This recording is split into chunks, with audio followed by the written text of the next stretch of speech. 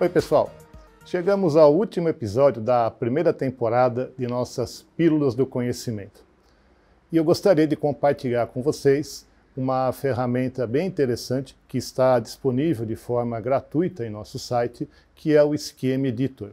Trata-se de um software para a confecção de diagramas hidráulicos e pneumáticos que possui uma biblioteca completa de símbolos normalizados, além também de símbolos de componentes da linha Bosch Rexroth que constam em nossos catálogos técnicos. De forma bem interativa, você vai conseguir fazer os seus projetos que normalmente você executa no seu dia a dia de uma forma bem fácil e bem rápida.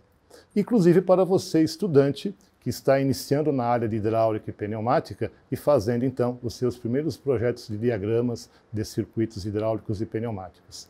Na descrição aqui do vídeo você terá acesso ao link para o download, então, dessa ferramenta.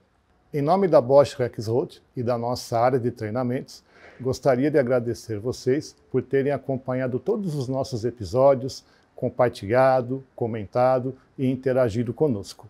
Procuramos, de forma bem didática, abordar assuntos os mais variados e responder às dúvidas que surgiam através dos nossos canais de comunicação e também nos nossos treinamentos. Esperamos que os conteúdos tenham sido bem úteis para vocês. Caso você tenha perdido algum episódio ou deseje rever algum tema, acesse aqui na descrição do vídeo a nossa playlist completa de nossas pílulas.